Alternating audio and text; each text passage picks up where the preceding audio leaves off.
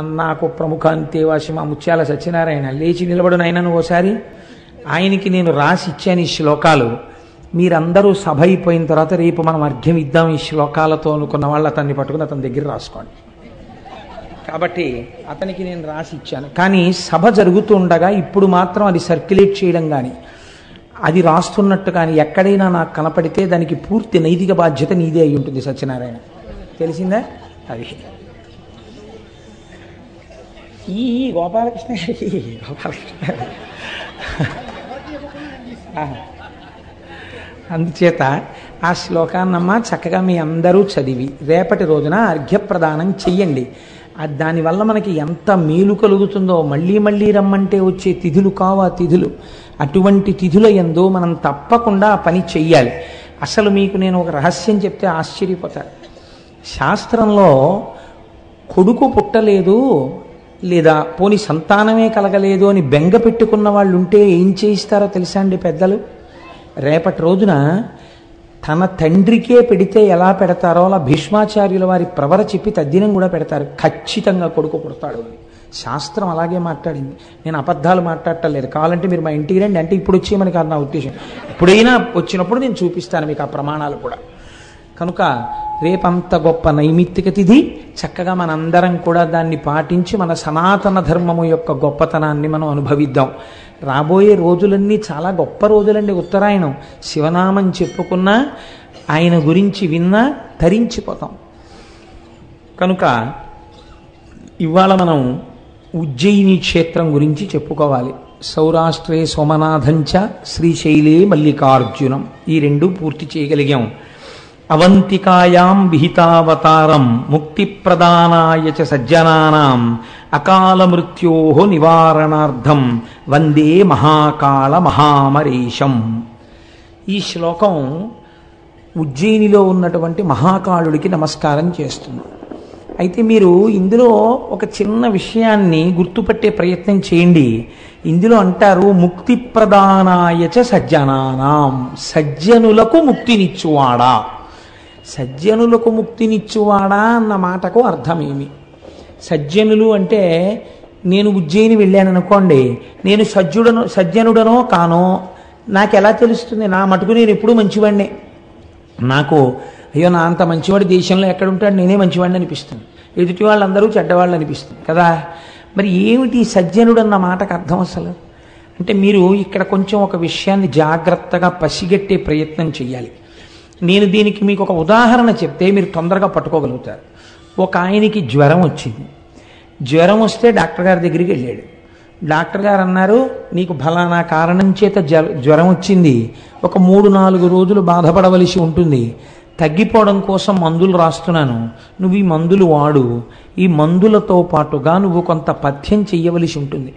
ఏదో నువ్వు చద్దన్నం తినేయడం వేడన్నం తినేయడం కూరలు వేసుకుని అన్నం తినడం ఇలాంటివి పనికిరావు. రొట్టె పాలు తాగు అన్నారు. డాక్టర్ గారు ఇచ్చినటువంటి ఔషధం పథ్యం చెయ్యకుండా ఉంటే జ్వరాన్ని తగ్గించగలదా? ఆయన చెప్పినా కూడా పథ్యం చేయలేదు. జ్వరం తగ్గుతుందా? అదేం పెద్ద క్వశ్చన్ అండి అలా చూస్తారు ఎందుకు? తగ్గుతుందా? తగ్గదు కదా? పథ్యం డాక్టర్ గారు మందు ఇచ్చినా ఆ మందు రోగం తగ్గించడానికే అయినా పథ్యం చేయకపోతే రోగము తగ్గదు కదా? భక్తి ఎందు పరమేశ్వరార్చన చేసేటటువంటి వాడికి సదాచారము తెలిసి ఉండవలే శౌచము తెలిసి ఉండవలే. ఏదో స్నానం చేయాలి ఓ గుళ్ళోకి వెళ్ళాలి ఇది తెలిసి ఉండాలి కదా? ఈ సదాచారము పథ్యం లాంటిది. భగవద్భక్తి ఔషధం లాంటిది. ఈ ఔషధం వేసుకుని ఈ పచ్చని తింటే పచ్చాన్ని పాటిస్తే ఏమవుతుంది? భవరోగం అనేటటువంటి రోగం తగ్గుతుంది. కానీ లౌకికంగా బయట వచ్చే వ్యాధికి భగవత్ సంబంధంలో వచ్చేటటువంటి భవరోగానికి ఒక తేడా ఉంది. ఇక్కడ అమాయకత్వం చేత పథ్యం చేయడం ఒక వ్యక్తికి తెలియలేదు. ఆయనకి ఆచారం తెలియదు. శౌచం తెలియదు. తెలిసి మానినవాడు కాదు. అసలు తెలియదు ఆయనకి. తిన్నడు ఉన్నాడండి ఆయనకి ఏం తెలుసు? గజేంద్రుడు ఉన్నాడండి ఆయన నీళ్ళ మధ్యలో ఉండి శరణాగతి చేశాడు. ఆయనకి ఏం తెలుసు? అసలు తెలియదు. తెలియదు కానీ గుండెల నిండా భక్తి ఉంది. ఇప్పుడు ఆ భక్తి పనికొస్తుందా? శౌచం లేని భక్తి పనికొస్తుంది. ఒకడున్నాడు సదాచారం తెలుసు కానీ సదాచారమును విడిచిపెట్టి భక్తితో ఉంటాడు. పనికొస్తాడా? పనికిరాదు. ఆచారము పాటించడానికే వచ్చిన. ఆచారం అంటేనే నువ్వు పాటించాలి. నీకు తెలిసున్నది అనుష్ఠాన పర్యంతములకు రావాలి. భగవద్భక్తి ఎందు ఈ భేదం ఉంటుంది. ఏమీ తెలియనప్పుడు అది ఆచారమైన తెలియక భక్తితో ఉండి పొరపాటు చేసినా ఈశ్వరుడు పక్కన పెట్టి ఏలుకుంటాడు. ఇప్పుడు పద్యము తప్పుగా ఉన్నా మందు పనికొచ్చేసింది భక్తి పనికొచ్చేసింది. బయట రోగానికి భవరోగానికి తేడా ఉంటుంది భక్తి విషయంలో. ఆచారం తెలిస్తే ఆచారమును కూడా పాటించి తీరవలే. ఇది ఒకటి. ఈ విషయాన్ని మీరు దృష్టిలో పెట్టుకున్నప్పుడు మహాకాల దర్శనమునందు సజ్జనానాం అన్న మాట ఎందుకు వాడారో గుర్తిరిగి ప్రవర్తించవలే. అందుకే మహాకాళుడన్న మాట కామాన్ని పోగొట్టేటటువంటి వాడు అన్నమాట కాలారి కామారి రెండు మాటలు వాడతారు పరమశివుడికి. కాలారిగా మీకు అనుగ్రహం కావాలన్నా కామారిగా అనుగ్రహం కావాలన్నా మీకున్న స్థాయిలో మీరు అనుష్ఠానమునకు తెచ్చుకుని మాత్రమే ఈశ్వరుడు ఎందు ప్రవర్తించవలే. అక్కడ మీ ఇష్టం వచ్చినట్టు ప్రవర్తిస్తానంటే మాత్రం కుదరదు. నిన్నటి రోజున శ్రీశైల మల్లికార్జునుడి విషయంలో మీరు వెళ్ళి ధూళి దర్శనం చేసుకుంటే ఆయన పొంగిపోయాడు. ఈ మాట అనడం వెనకాతల ఉన్న రహస్యం ఇది. ఉజ్జయిని ఎందుకు అలా వెడుతుందో ఇప్పుడు మీరు అవధరించండి. ఆ కోణంలో మీరు పరిశీలన చెయ్యనప్పుడు మీరు ఉత్తరోత్తర క్షేత్రానికి వెళ్ళినప్పుడు మీకు అసలు ఆ క్షేత్ర దర్శనమునందు ఈ కోణం ఉంటుందన్న విషయం అవగతము కాదు. అందుకని నేను అలా తీసుకొచ్చే ప్రయత్నం చేశాను. అవంతి అని పూర్వకాలంలో ఉజ్జయినికి పేరు. అవంతి అంటే ఏమిటి అవంతి అంటే రెండు అర్థాలు ఉన్నాయి. ఒకటి స్త్రీ రెండు అక్క. అక్క అని చెప్పవలసి వచ్చినప్పుడు అవంతి అని చెప్పచ్చు. ఒక స్త్రీని చెప్పినప్పుడు అవంతి అని చెప్పవచ్చు. అవంతి సాక్షాత్తుగా జగదంబ అయినటువంటి అమ్మవారి యొక్క స్వరూపము ఆ భూమి.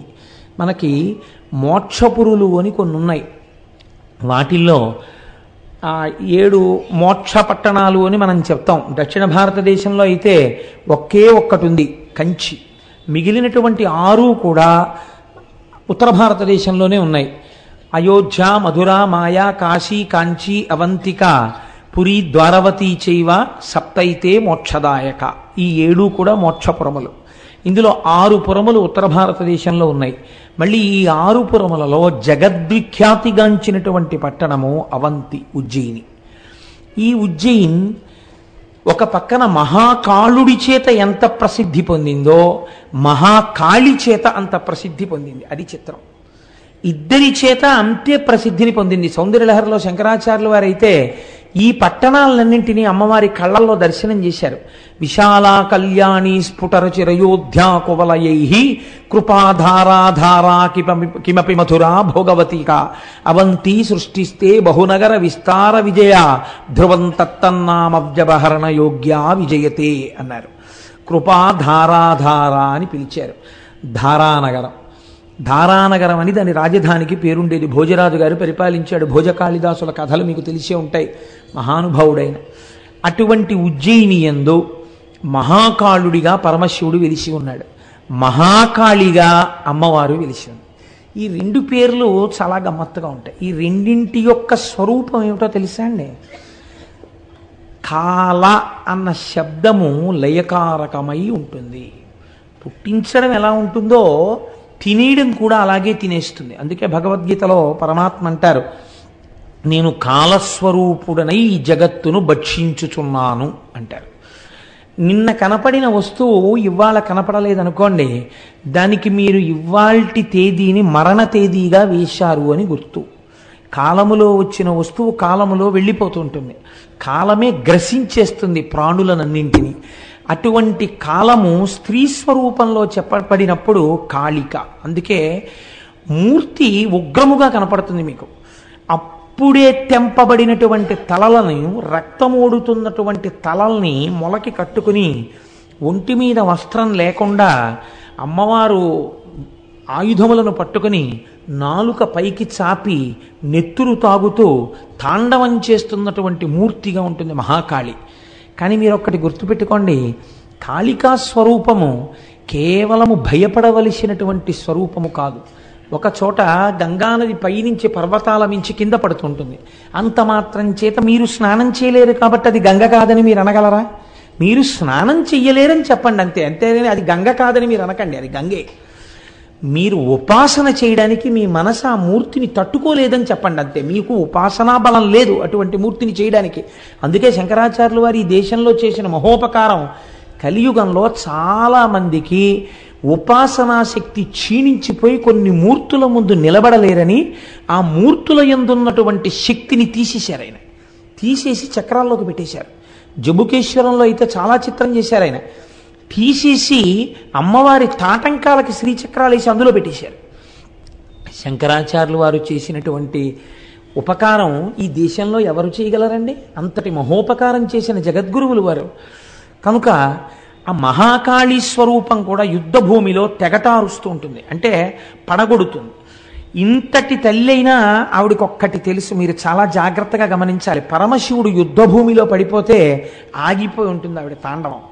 దాని అర్థం ఏమిటో తెలుసా అండి?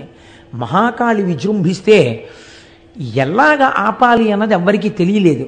తెలియకపోతే పరమశివుణ్ణి ప్రార్థన చేశారు. నువ్వే ఆపాలయా ఆవిడ్ని అని. శంకరుడు వెళ్ళి యుద్ధభూమిలో పడుకున్నాడు. పడుకుంటే ఆవిడ తాండవం చేస్తూ తొక్కింది శంకరుణ్ణి. తొక్కగానే స్పర్శ చేత తెలుసుకుంది తన భర్త అని ఆగిపోయింది. ఎంతటి అపచారం. నా కాల ఆయనకి తగిలిందని ఆగిపోయింది అంతే. ఆవిడ ఆ స్థితిలో కూడా మహాపతివ్రత మహాకాళి. ఇక్కడ ఉన్న రెండు స్వరూపములు కూడా కాలస్వరూపములై ఉన్నవి అంటే ఇవి లయకారకములై ఉంటాయి తినేస్తాయి లోకాన్ని. తినేసే స్వరూపం దగ్గరికి మీరు ఎడతారండి? తింటుంది. మరి ఎందుకు మహాకాళేశ్వరం గురించి అంత గొప్పగా చెప్పుకోవడం మనం? అంటే ఒకటి గుర్తుపెట్టుకోండి. ఏది తినగలదో అది నేను నిన్ను తింటలేదని వదిలిపెట్టగలను. కదా? ఏది తినేయాలో అదే తినకుండా కూడా వదిలిపెట్టాలి. కదండి? మనకి శాస్త్రంలో మృత్యు వద్దని అడగారు. మీరు చూడండి. ఎంత పరిణతితో మన వాళ్ళు మాట్లాడతారంటే మృత్యుంజయ మహామంత్రము అని ఒకటి చెప్తారు. ఓం త్రయంబకం యజామహే సుగంధిం పుష్టివర్ధనం ఉర్వారుకమివ బంధనాన్ మృత్యోర్ముక్షీయమామృతాత్. దీనితో విభూతి ధారణ చేయడం కూడా అలవాటు ఉంది లోకంలో. ఈ మృత్యుంజయ మహామంత్రంలో నాకు చావు వద్దు అని అడగరు. దోసపండు ముచిక నుంచి ఎంత తేలికగా విడిపోతుందో నేను కూడా అంత తేలికగా విడివడెదనుగాక అని అడుగుతారు. మీరు ఒక్క విషయం లోకంలో గమనించండి ఈ మాట ఎందుకు వెయ్యాలి మృత్యుంజయ మహామంత్రంలో? మీరు ఒక పిండిని తెంపేశారనుకోండి ఒక పిండిని తెంపితే రసి బయటికి వస్తుంది అది ఏ కాయమనివ్వండి కొద్దిగా రసో పాలో ఏదో ఒకటి చెట్టులోంచి పైకొస్తాయి. మనిషి బ్రతకవలసినటువంటి ఆయుర్దాయాన్ని పొందకుండా వెళ్ళిపోతే ఖచ్చితంగా ఆయన వెళ్ళిపోవడం చేత ఆయన వెనకనున్న వాళ్ళ కళ్ళంబట నీళ్ళొచ్చి అతను లేని కారణం చేత ఆ కుటుంబపు వృద్ధి దెబ్బతినేటటువంటి పరిస్థితి ఉంటుంది. వెళ్ళిపోయిన వాడు వెళ్ళిపోయాడు కానీ వెనకనున్న వాళ్ళు ఖచ్చితంగా ఆ స- అందాన్ని పొందలేరు పొందవలసిన అభ్యున్నతిని పొందరు. కాబట్టి శాస్త్రం ఏం చెప్తుందో తెలుసా అండి? మృత్యు వద్దని చెప్పదు. తొంభై ఏళ్ళొచ్చినా ఎనభై ఏళ్ళొచ్చినా మృత్యువు లేకుండా నాకు ఇవ్వండి వరం అంటే ఇవ్వదు. అలా అడగమని చెప్పదు. నాకు పండిపోయినటువంటి పండు నేలరాలిపోయినప్పుడు మీకు రసి కానీ పాలు కానీ ఉండవిహ అది తనంత తాను చెట్టు విడిచిపెట్టేస్తుంది ఆ పండుని. ఆ పండు కూడా నేల మీద పడిపోతుంది. పడిపోయి పగిలిపోతుంది. ఇంకోళ్ళు తినాలని పడిపోతుంది అంతే. అలా ఒక వయసు వచ్చేసిన తర్వాత ఇంకా చాలు. సాక్షిగా నేను దేహాన్ని చూస్తూ ఇందులోంచి విడివిడిపోతానని కోరుకో. జ్ఞానాన్ని మాత్రమే బోధ చేస్తుంది సనాతన ధర్మం. లేనిపోని విషయాలను సనాతన ధర్మము మాట్లాడదు. మనిషిని ఉద్ధరించడానికి మాట్లాడుతుంది ఏది మాట్లాడినా. కాబట్టి మీరు ఏ మృత్యు వద్దని అడగాలి అకాల మృత్యువు అపమృత్యువు రాకూడదని కోరుకోవాలి. ఇంకా కడుపున పుట్టిన కూతురికి పెళ్ళి చేయలేదు కన్యా కన్యాదానం చేయలేదు. కొడుకు వృద్ధిలోకి రాలేదు. తర్వాతి తరానికి తర్వాతి తరాన్ని ఒక మనవణ్ణి చూడలేదు ఎత్తుకుని ముద్దాడలేదు. ఈలోగా ఆయన శరీరం పడిపోకూడదు. పడిపోకూడదంటే ఏం చేయాలి? మీ చేతిలో ఉందా నా చేతిలో ఉందా? చేసిన పాపం ఉంది వెనకాల. అది తరువుకొస్తోంది కాలోహి బలవాన్ కర్త సతతం సుఖ దుఃఖయో పరతంత్రాణం పుణ్య పాపానుయోగత అంటాడు వ్యాసుడు. నువ్వేహీ ఏహీ చేయలేవు నువ్వు పరతంత్రుడవు. కాలస్వరూపంతో ఈశ్వరుడు తీర్పు చెప్పేస్తున్నాడు. దాన్ని అవుదల దాల్చడమే. మరి ఇటువంటప్పుడు ఏం చెయ్యగలవు? అపమృత్యువు తన్నుకొచ్చేస్తుంటే ఒక పక్క నుంచి ఏం చెయ్యాలి కుటుంబాన్ని రక్షించుకోవడానికి? వస్తుందో రాదో కూడా నీకు తెలియదు జాతకంలో. వచ్చిన తర్వాత నువ్వు చేయగలిగింది లేదు. ఏం చెయ్యాలి? అందుకే మనం ఏ దేవాలయానికి వెళ్ళండి తీర్థం ఇస్తే ఓ మాట చెప్తారు. అకాల మృత్యుహరణం సర్వవ్యాధి నివారణం సమస్త పాపక్షయకరం శ్రీ ఉమామహేశ్వర లేదా లక్ష్మీనారాయణ పాదోదకం పావనం శుభం అని ఇస్తారు. అపమృత్యు దోషం రాకుండా మనకి తీర్థం ఇస్తారు ఎవడు తినేయాలో వాడి అనుగ్రహాన్ని మీరు పొందారనుకోండి వాడు సరే విడిచిపెట్టాను నిజమునకు నువ్వు చేసిన పాపానికి నిన్ను తినాలి కానీ తిన్నంత పని చేసి నిన్ను వదిలిపెట్టేస్తున్నాను అన్నాడు ఇప్పుడు ఏం చేస్తాడు? తినడు. తినకుండా వదిలేస్తాడు. దాని ఎందు ఈ రెండవ కోణం లేకపోతే మీరు ఎందుకు ఎడతారు అసలు మహాకాలం చెప్పండి నాకు. ఈ సిద్ధి కావాలంటే మహాకాలం వెళ్ళాలి రెండు. అయితే ఏమండి ఎనభై ఏళ్ళలో తొంభై ఏళ్ళో వచ్చాయి. అప్పుడు వెళ్ళకూడదా ఉజ్జయిని ఇంకా? వెళ్ళాలి. ఎందుకు వెళ్ళాలి? పండు పడిపోయినట్టు చెట్టు నుంచి తాను ఏ బెంగా లేకుండా విడివడేటటువంటి స్థితి కలగడానికి వెళ్ళాలి. కాబట్టి అసలు జీవితంలో వెళ్ళవలసిన క్షేత్రం అంటూ ఉంటే ఎక్కడ ఉండాలి? మహాకాలమునకు వెళ్ళి తీరాలి.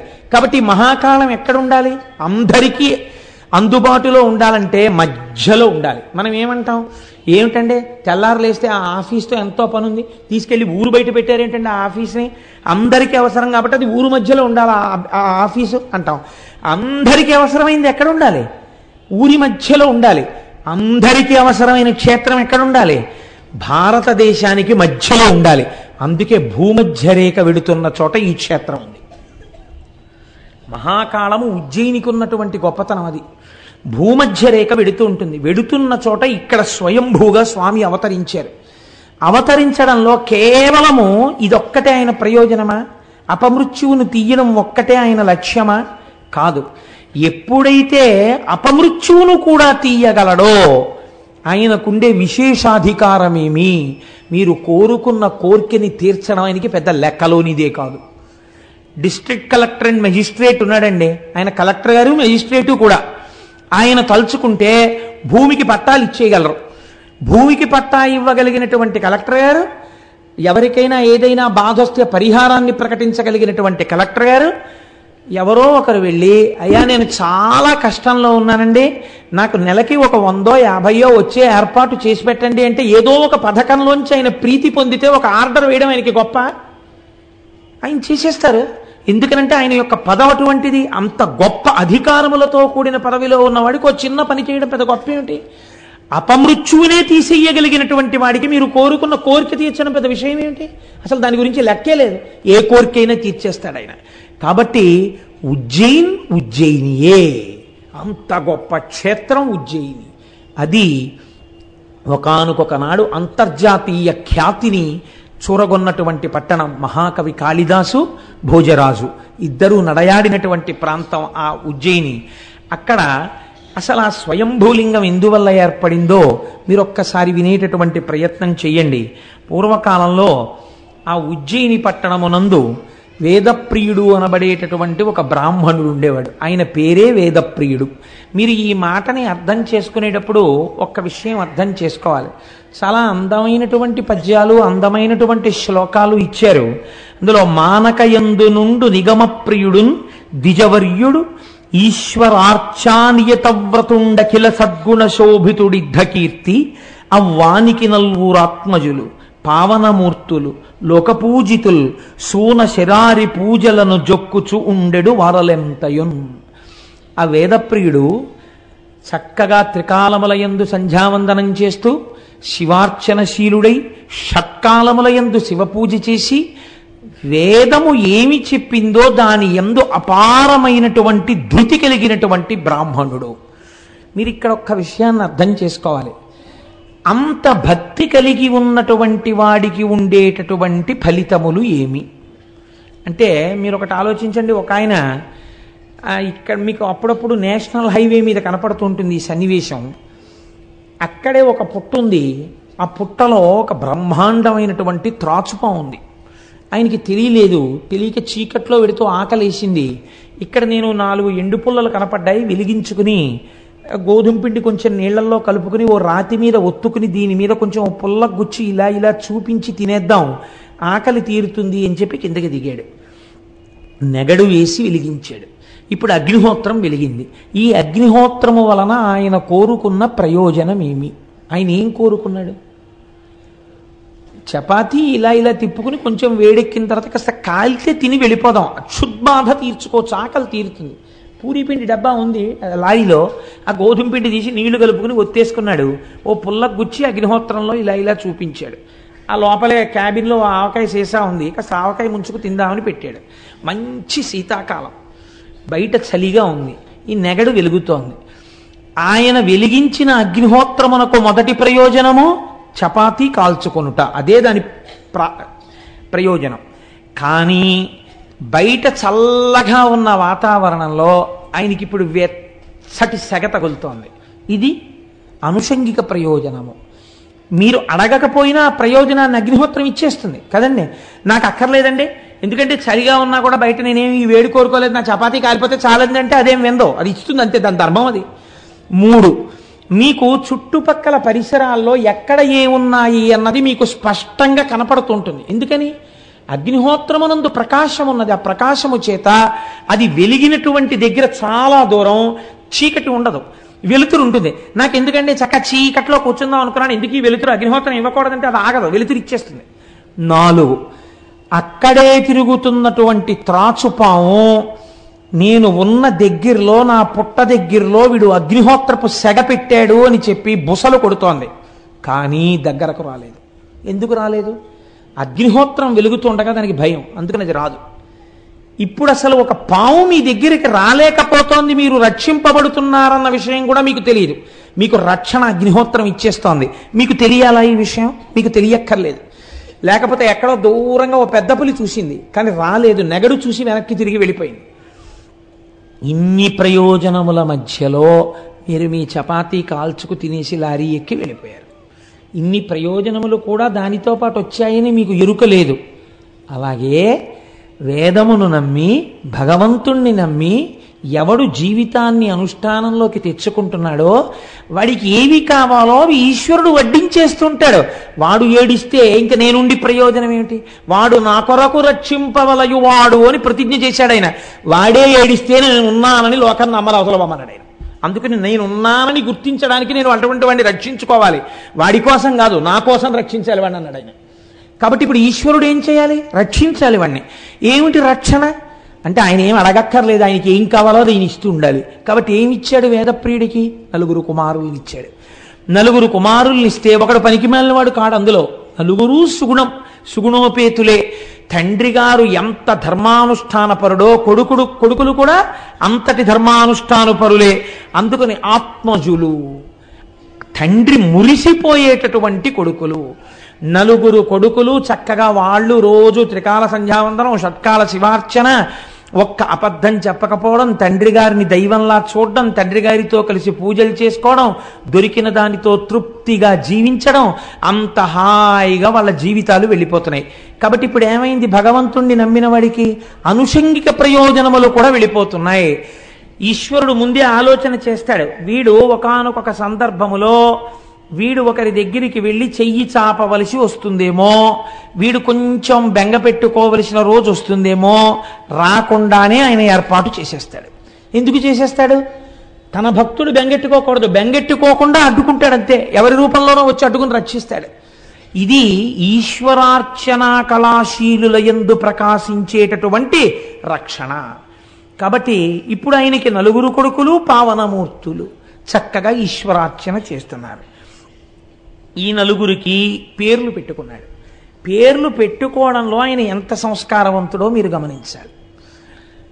ఇంట్లో ఉన్న పిల్లల యొక్క పేర్లు పిలుస్తున్నప్పుడు ఇంటి యజమాని యొక్క సంస్కారం బయటికి వచ్చేస్తుంది.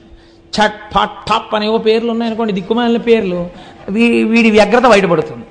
ఆ పెట్టుకున్నటువంటి పేర్లు అందంగా ఉన్నాయనుకోండి చూసేటప్పటికీ మనకు పొంగు వస్తుంది అబ్బా ఎంత గొప్ప పేర్లు రా ఇవి అనిపిస్తుంది. చూడండి అందుకని ఆయన పెద్ద కొడుక్కి దేవప్రియుడు అని పేరు పెట్టుకున్నాడు. రెండో వాడికి ప్రియమే ప్రియమేధుడు అని పెట్టుకున్నాడు. మూడో వారికి సుకృతుడు అని పెట్టుకున్నాడు. నాలుగు ఆయనకి సువ్రతుడు అని పెట్టుకున్నాడు. ఎంత చక్కటి పేర్లు చూడండి. పురాణ పరిశీలనములందు మనం జీవితంలో నేర్చుకోవలసిన విషయాలు అనేక ఉంటాయి. లేకలేక కొడుకులు పుట్టినటువంటి దశరథ మహారాజు గారు పేర్లు పెట్టేటప్పుడు కౌసల్య సుమిత్ర కైకేయి సుమంత్రుడు కూర్చుని ఎవరితో ఎవరో రాసినటువంటి పేర్ల పుస్తకం ఒకటి తెచ్చుకుని దిక్కుమాలిన పేర్లు అన్నీ సెలెక్ట్ చేయలేదు. వశిష్ఠుడికి అప్పచెప్పాడు ఏ పేరు పెట్టాలో. వశిష్ఠుడు పెట్టాడు కాబట్టి రామనామం ఆ నాటి నుంచి ఈనాటి వరకు మిమ్మల్ని నన్ను తరింప చేస్తోంది వశిష్ఠుడు పెట్టకుండా దశరథులు కూడా చట్ట పట్ట పెట్టుంటే మన బతుకులు పట్ట అయిపోయింది కదండి? ఆ పెట్టిన పేరు ఎంత ఉద్ధరించిందో చూడండి. పేరు పెట్టుకోవడం వంశాన్ని తరింప చేసేస్తుంది పేరు పెట్టి పిలిచిననైన విశ్రామ్ విశ్రామ కేళినైన మిగుల గేలినైన. అంటారు పోతన గారు భాగవతంలో. తెలిసో తెలియకో యథాలాపంగా రోజు కొడుకని పిలిచినా సరే ఆత్మ ప్రలపించు నారాయణాయటంచు. అజామీలుడు మోక్షాన్ని పొందలా? కాబట్టి పేరంత గొప్పది. కనుక చక్కగా నలుగురికి నలు నలుగురు కొడుకుల పేర్లు పెట్టుకున్నాడు. పెట్టుకున్నారా? పిల్లలు పైకొచ్చారు. వేదప్రియుడు ఏమయ్యాడు ఇక చెప్పక్కర్లేదు దాని గురించి. ఇంత జ్ఞానం కలిగిన వాడు ఒక వయస్సు వచ్చిన తర్వాత నలుగురు పిల్లలు చక్కగా యోగ్యులై ఉన్నారు. మనస్సుని భగవంతుని ఎందు పెట్టాడు. భగవంతుని ఎందు లీనమైపోయాడు. అంటే ఆద్యంతము ఏ వస్తువుని పట్టుకోవాలో ఆ వస్తువుని పట్టుకున్నవాడు ధరించడం వరకు కూడా ఎవరు చూసుకున్నాడు? ఈశ్వరుడు చూసుకున్నాడు. కాబట్టి ఇప్పుడు ఆయన బిడ్డలు ఆయన లాంటి వాళ్ళే. కాబట్టి వాళ్ళు కూడా పరమశివుణ్ణే నమ్ముకుని జీవనం గడుపుతున్నారు. ఇక్కడ వరకు చాలా బాగుంది ఈ విషయం. కానీ పక్కనే పర్వత శిఖరాలలో రాక్షసుడు బయలుదేరాడు.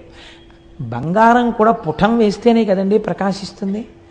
ఏదైనా సరే కష్టం వచ్చినప్పుడే పరీక్షకి నిలబడినప్పుడే వాటి వాటి వ్యక్తిత్వములు ప్రకాశించి నిలబడతాయి. బంగారాన్ని కరిగించలేదనుకోండి అసలు ఆ తప్పము కాకపోతే అవన్నీ రాదు. ధనస్సు వంగలేదనుకోండి ఎదుటివాడి మీద లక్ష్యంగా బాణప్రయోగం చేయడం కుదరదు. మొగ్గ మొగ్గగా ఉండిపోయిందనుకోండి అది ఎన్నటికీ పరిమళాన్ని ఆ, లోకానికి వెదజల్లలేదు.